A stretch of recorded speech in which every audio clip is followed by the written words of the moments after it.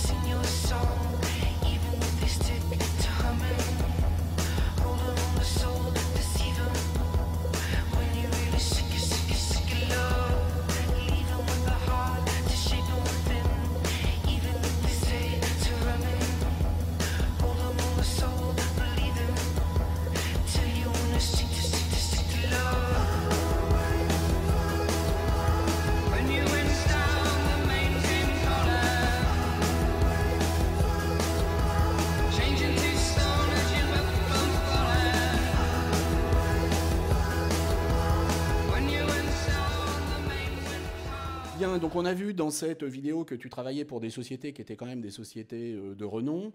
Euh, s'il travaille avec une euh, société comme la tienne, un producteur, une production comme la vôtre, et puis qui travaille avec des moyens qui vont être des moyens légers, agiles, c'est pas forcément uniquement pour des raisons de coût.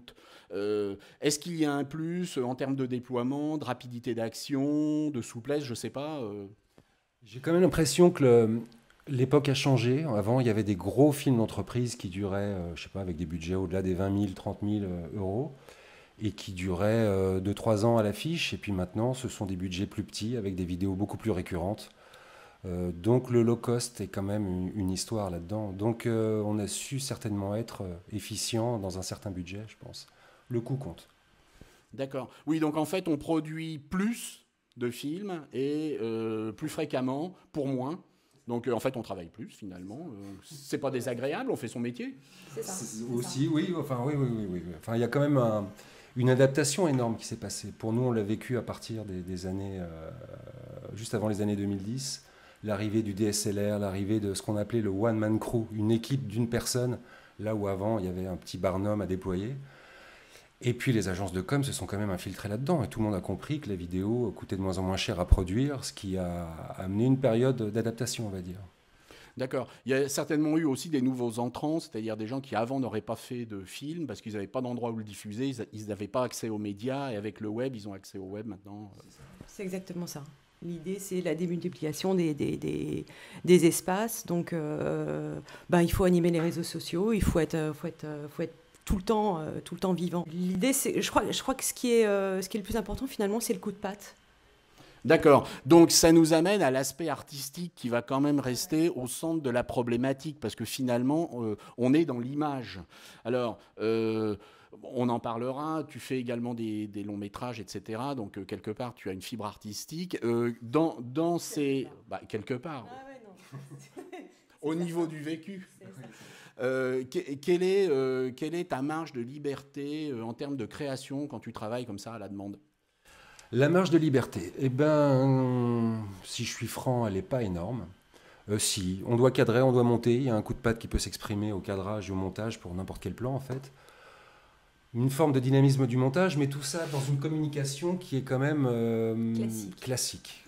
D'accord. Oui, alors, mais c'est ce que j'ai remarqué sur euh, ta démo et puis sur d'autres films que j'ai vus, c'est que euh, tu, tu pratiques un montage qui est très dynamique, euh, avec des effets d'accélération de caméra, etc.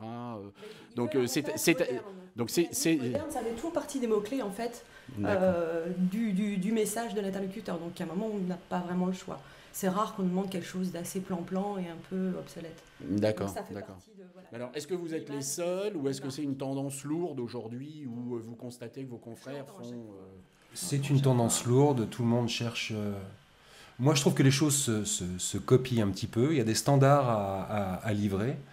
Et euh, Parfois un peu frustrant. Parfois un peu Ouais. frustrant. Mais bon, Ouais. c'est un outil de communication. euh, si on est peintre et qu'on fait des plaquettes pour des entreprises, euh, on sait très bien qu'on n'est pas là pour s'exprimer soi-même et pour, pour vendre un message qui n'est pas le nôtre. Est-ce que vous intervenez directement pour les entreprises? C'est-à-dire aujourd'hui, les entreprises peuvent avoir accès à des créateurs comme vous, hein, par, par le biais de l'Internet, ils vont voir votre bande-annonce sur Vimeo, ou est-ce que vous travaillez plus pour des agences? De plus en plus en direct. Ce sont des Ouais. grands comptes qui sont venus nous chercher en fait. On travaillait pour des agences et des grands comptes ont fini par venir nous chercher en nous demandant si on était euh, le dernier maillon de la chaîne. Donc euh, j'ai- c'est une tendance. hein. Et est-ce qu'ils sont venus pour des raisons euh, d'argent? C'est-à-dire, est-ce qu'ils sont venus en se disant, en travaillant directement avec le réalisateur et le producteur, je vais, ça va me coûter moins cher? Ou est-ce que ça va être plus souple Peut-être que je dois pas dire ça, mais certains grands comptes n'étaient plus très contents de leurs agences qui pourtant sont des grosses agences. Bon, C'est un autre problème. c'est un autre problème. Alors, euh, on parlait du montage, on parlait du montage qui est très qualitatif. Euh, quelle est la part aujourd'hui du temps de montage? C'est-à-dire, est-ce que tu passes plus de temps devant ton ordinateur à monter? Il a un gros défaut, c'est qu'il ne compte pas ses heures et qu'il peut y passer les nuits. Et parfois, à 8 h du matin, il me dit Ça y est, la vidéo est montée. Ouais, mais ça, c'est la productrice qui parle. Donc, euh, il y a des... le rendement. Non, non, c'est pas une question de rendement. C'est vrai qu'on on pro- on promet des, des- des- des dates de rendu et, euh, et moi je tiens effectivement à ce qu'on les respecte, ça c'est évident. Mais euh, il ne compte pas ses heures et je pense qu'il y passe bien On passe 75% de son temps. Il y a 25% de temps de montage et il y a 75% de temps de, mon- de, de- de- De de tournage. tournage. et 75% de montage, à mon avis. On doit pas- Ouais, c'est du 25, c'est du 25-75, ouais. Le fait que les budgets, euh, les budgets de, de communication se soient un petit peu euh, resserrés quand même fait qu'il y a moins de temps de préparation aussi. Et puis finalement, moins on prépare en amont, plus on, plus On cherche euh, au montage finalement. Alors aujourd'hui, euh, tu travailles euh, de manière totalement autonome puisque vous êtes à la fois bah, tes réalisateurs, Céline s'occupe de toute la partie production. Euh, vous pouvez être repéré par, euh, par exemple, une, une- une grosse société. Spielberg, une grosse société qui va vous demander de travailler en production euh, traditionnelle, c'est-à-dire euh, grosse, épi- grosse équipe lourde, feuille de service, euh, et j'en passe et des meilleurs. Alors, On est vraiment euh, euh, là où on enregistre l'émission, c'est un endroit où tu, tu le sais, il y a pas mal de tournages. L'autre fois, je comptais les camions, il y en avait 18. Ouais, 18 camions pour faire un film, c'était un film sur la poste. hein, euh, L'autre fois, c'était un téléfilm sur. euh, je l'ai fini par le voir sur M6 et j'avais regardé la post-production et je, et je vois des types à côté de ça. C'était la réflexion qu'on s'était faite. Il y a des petits génies du 5D, du DSLR qui sont tout seuls, qui font de la pub et qui produisent euh, mieux que le, le type est tout seul avec son truc dans les mains et fait mieux qu'une équipe avec 18 camions. Ça commençait à nous interpeller cette histoire. Oui, oui, c'est c'est une question. Mais alors, tu, tu refuserais alors? C'est c'est trop tard pour moi. J'ai commencé un peu par ça, mais euh, je, je- justement, je n'avais ni le caractère et j'avais l'impression qu'on était un peu plus libre dans son coin. euh, voilà, j'ai ce caractère-là d'indépendant. On va avoir aussi quelques extraits d'un petit trailer. euh, Donnez notre autorisation pour filmer, j'ai rien à cacher. Je peux couper, c'est chiant. T'as été affecté par ce qui s'est passé ici, Zach? Bah ouais. Tu vois, je t'appelle au secours. Tu vois où j'en suis rendu? Ça suffit la mascarade. Dégage le plancher et nous on se trouve quelqu'un de compétent. De tout ça sans passer pour des cinglés. Tu sais que j'y crois, moi, aux esprits.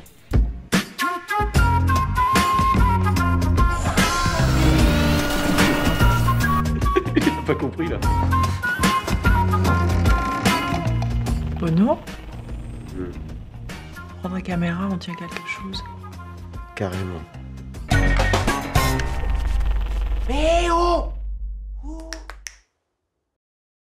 D'un petit trailer d'un long métrage que, que, et développement, que tout tu as ça. fait. Et donc, qu'est-ce que c'est? C'est de la recherche et développement. Oui, mais les gens le regardent et ils aiment bien ce film. Il commence à avoir son public. C'est tout petit, c'est dans son coin, mais euh, on s'amuse avec des, on a des réflexions avec des comédiens où on se dit tiens, on est dans notre coin et si on s'amusait à faire des films, en fait. euh, Comme des, des musiciens qui seraient dans leur garage et qui diraient tiens, on a envie de faire du rock ensemble parce que ça nous éclate. c'est assez on le fait et peut-être qu'un jour ce Ouais. sera Il vraiment les- super bien. Il y a les garage band et il y a les garage prod. Exactement. exactement Donc, on a avec nous une garage prod. Je suis fier de l'être. Oui, mais alors bon, euh, des gens comme euh, Tarantino euh, ont commencé euh, en, en bricolant des films, euh, et puis euh, un jour, euh, aujourd'hui, ils travaillent avec des productions traditionnelles, je veux dire. euh, Tout à fait. C'était pas la même, c'était pas la même époque. euh, Ouais. euh, mais enfin, il y a une révolution en cours. Personne ne sait où ça va, mais on a quand même l'impression qu'il y a de quoi tourner pour pas cher, qu'il y a du, de quoi monter pour plus très cher. En fait, là, on est dans un micro studio de télévision. Euh, il y a encore c'est ma- 15 c'est- c'est ma cuisine. C'est sa cuisine. Et il y a encore, il y a encore 15 ans, il fallait payer une fortune pour faire la même chose. Euh, ça devient accessible, donc en termes de fiction, il va certainement se passer quelque chose, comme le home studio a amené quelque chose en musique, a révolutionné la manière de faire, des de, de faire de la musique et, des, et de produire des albums. Il se passera certainement la même chose euh, au cinéma. Alors, il me reste une dernière question. Euh, on va regarder juste deux images.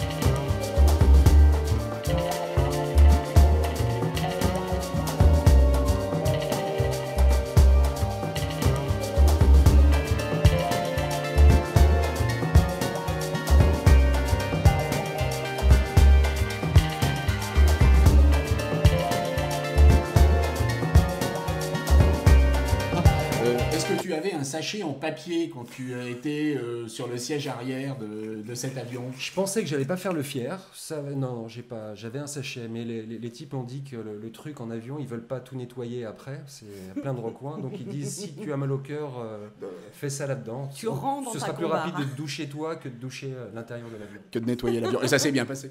C'est très impressionnant. C'est mieux que le, pas- le, le- le- le- le parc Astérix. Ouais, je, je m'en doute. Alors, même euh, si vous avez des productions légères, euh, bah, il y aura forcément plein d'intervenants. Vous allez avoir euh, peut-être éventuellement euh, les clients. Vous allez avoir, des fois, vous avez une agence sur le dos. Il y a un certain.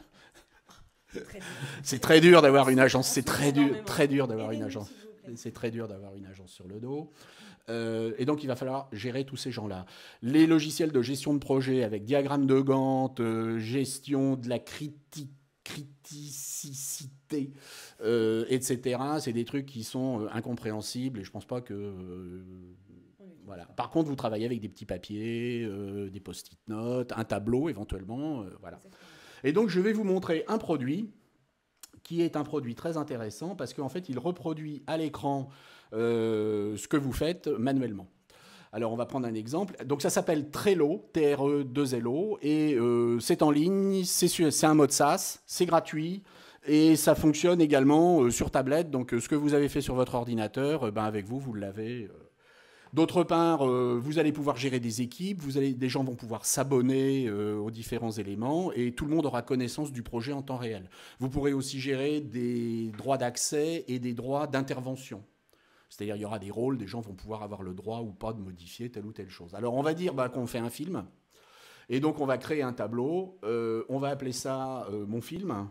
Ce film peut être euh, pour vous ou il peut être affecté à une équipe. Donc l'idée c'est de créer aussi des équipes. On ne va pas rentrer dans les détails pour l'instant à aucun. Pour l'instant voilà. Et vous avez créé votre tableau. Et une fois que vous avez fait votre tableau, vous allez pouvoir ajouter des listes. Par exemple ici, vous allez faire un tournage. Si vous avez prévu un tournage demain, donc on va dire tournage Mency.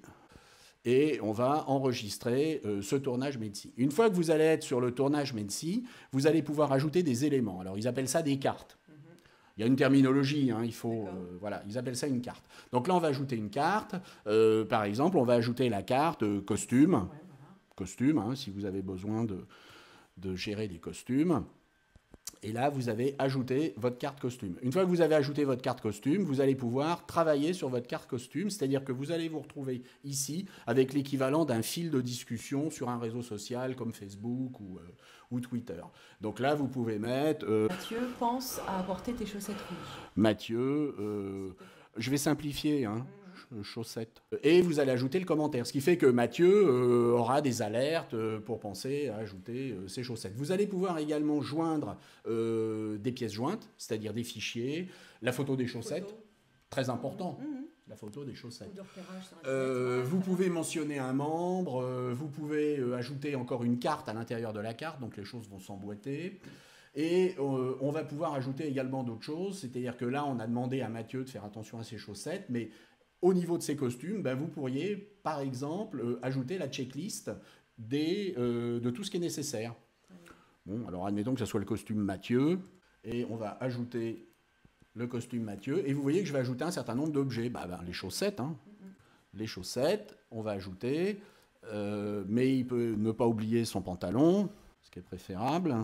Le pantalon, oui, bon, on va laisser, on va laisser, on va, on a, compris, on a compris, va laisser le pantalon. Voilà. Et là, vous voyez que maintenant, sur le tournage Mensi, vous avez un commentaire, euh, vous avez une checklist avec deux objets, euh, etc., etc. On peut également euh, aller plus loin et euh, placer des échéances, c'est-à-dire que ce tournage va avoir lieu, par exemple, le 23, et vous pouvez spécifier que ça soit le 23. Vous allez enregistrer. Et vous voyez que maintenant, euh, ça sera le 23. Donc c'est quelque chose qui est très simple parce que ça, c'est un truc que vous auriez fait avec des post-it. Et euh, l'avantage, c'est que les post-it, bah, il y a que vous qui les voyez, alors que là, bah, Mathieu va pouvoir le voir, la costumière, euh, etc. Voilà, donc c'est quelque chose qui est intéressant. Alors bien entendu, c'est un modèle freemium, c'est-à-dire que l'entrée est gratuite et la sortie est payante. Euh, bon, l'intérêt, non, en fait, si, si vous voulez avoir des options euh, avancées du genre changer la couleur du fond, euh, bien qu'on puisse le faire, là, hein, il y a des choses qu'on peut faire, là, si le bleu vous plaît pas, enfin, vous voyez, c'est limité. Donc après, si vous voulez des choses un petit peu plus poussées, bah, vous allez avec du gold, euh, etc. Donc c'est ce qu'on appelle un modèle freemium. Quoi. Voilà, vous payez. Mais là, vous avez un truc qui est très très bien. Et puis alors surtout, tout le monde sur sa tablette, sur son portable, euh, va pouvoir bosser avec vous. Quoi. Voilà. Donc euh, ça vous intéresse ce genre de... Ouais. Ça doit intéresser pratique. surtout Oui. la première. Ah ben Je suis la spécialiste des listes. voilà. Et je saoule tout le monde avec ça, mais en même temps, ça marche très très bien. Et ça, c'est vrai que c'est pas, c'est assez pratique. Ça m'éviterait de, de démultiplier les messages à tous. en fait. Voilà. Alors si on le paramètre bien, ça marche en push, c'est-à-dire que les gens vont recevoir des emails d'alerte carrément. Hein? Donc euh, voilà.